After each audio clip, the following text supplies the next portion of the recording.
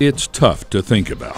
Adult sexual assault, rape by any other definition, is a much more common crime than most people realize, and yet it is one of the most unreported crimes. The numbers are shocking. In Texas, only 9% of all sexual assaults are reported to law enforcement. Why would a crime victim, a victim of rape, not report it? And let me suggest it's because as a society, we always tell women um, it matters where you go, what you do, how you dress. And, and part of that is getting women to this mindset that they must have done something wrong for this to happen. After a long history of these crimes being ignored by the state, Tarrant County Criminal District Attorney Sharen Wilson has made prosecuting adult sexual assault a priority, creating a special unit of lawyers to focus on these violent and most intimate crimes.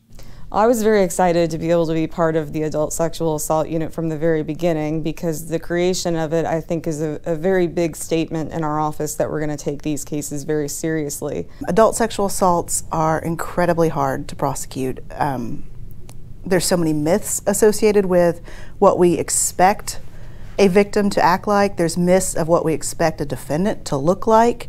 Kim Davignon is chief of the Adult Sexual Assault Unit and says the toughest challenge in trial is to get the jury over preconceived notions about rape victims. When we believe this idea that they must be wearing this super short skirt or acting a certain way or or if they were terribly drunk, what's really offensive about that is it kind of includes this idea that somehow men are activated into raping someone because of something the victim's doing.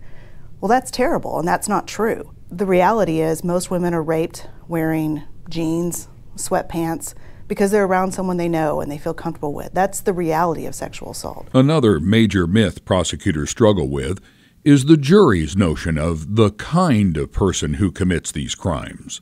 We as a society have this idea of what a rapist looks like, right? Like they're the guy hiding in the bushes in a trench coat with a knife, right? Like that's what a rape has to be for a victim to be believed. The truth is, most people are raped by someone they know. The U.S. Justice Department reports that 80%, that's 8 out of 10 women who are raped, know their attacker. There's, there's not one face of evil. You know, sometimes evil is tall, dark, and handsome. Um, and so, kind of overcoming the perceptions of, of um, sex assault and having to convince people that, that evil exists, that creates a lot of problems. And so does getting the victim to trust the prosecutors. I think that probably the most important thing for the victim of an adult sexual assault case is that they need to know that we believe them.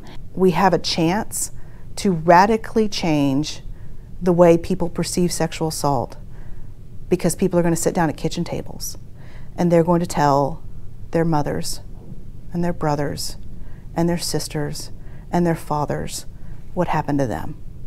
The people around you are confronted with the reality of sexual assault. They're confronted with that the myths that they believed maybe weren't true because they weren't true for their loved one. And that's how things change. See the resources available to victims of adult sexual assault on the Tarrant County Criminal District Attorney website, cda.tarrantcounty.com.